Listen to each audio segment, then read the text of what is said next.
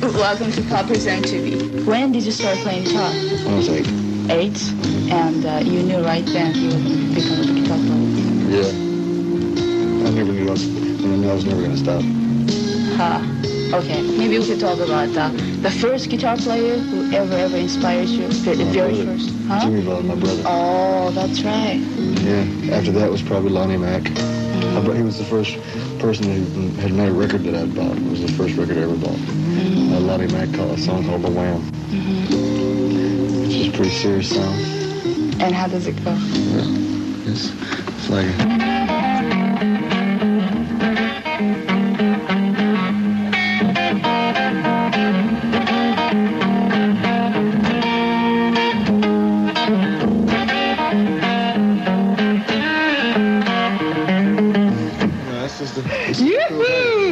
Yoo-hoo! are greato! And is that true that you played Woodstock with Yeah. 1969. Wow.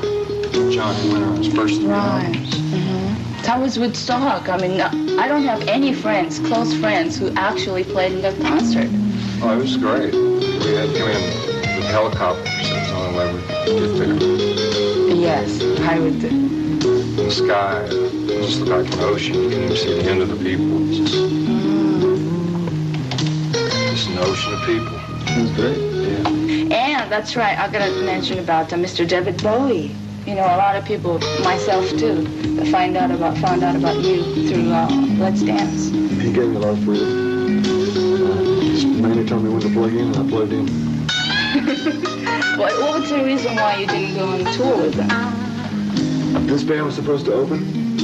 Um, as it came, came time for the, for the gigs to start, they were not included in any of the gigs, so I'm still with the band. Is it true that you said that you just called them up and said no two days before the concert's supposed to be starting or Well, no, that was his, his press, his press uh, people trying to slander my name.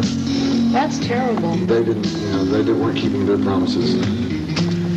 So, Let's talk about Jimi Hendrix. You've met you, you met him actually? no, or- no, I didn't get to meet him in person. I wish I had him. Yeah. Uh, he heavily influenced my life, and I hope everybody else's living. you know, he's a, he was a very strong man in many ways. His music and his life influenced, influenced my music and my life, and will continue to for the rest of it, I'm sure. What were you doing and did you cry when he passed away? Of course I did. I didn't realize I was supposed to laugh. I was playing. Listening to his music, and I did cry. Left. Especially for a few days afterwards when we were playing gigs. Just replaying some of his songs and things that I didn't even know that just came out. they were right though. I miss him. Okay, let's just uh, go for it. Wh- which one are you gonna play? Tin Pan Alley or what? Oh, maybe not. What y'all want to do?